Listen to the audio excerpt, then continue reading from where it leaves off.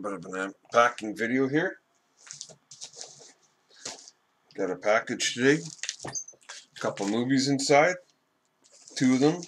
I know what one is, but uh, not too sure about the other one. Um, I I know I know what they both are. I just can't remember the other one. I know what one is. And this might be a chore because I forgot to get my. Nope. Here it goes.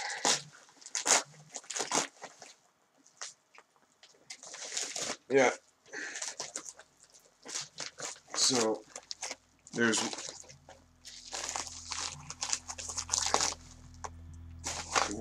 it's just the shipping slip. This is the one I knew.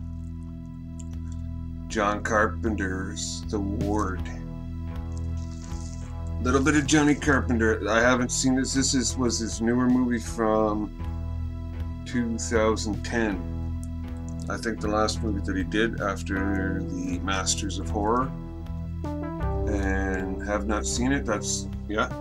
Look at that. Blu-ray DVD, my first combo pack. That's my first combo pack ever. I've never gotten that before. DVD and Blu-ray. And it, I bought it because the price all of a sudden just dropped big time. It was like $28 one day, then 12 the next. I was like, okay, I'll buy it. John Carpenter. Love to see him do movies nowadays. I don't know if. Uh... Oh yeah, there you go.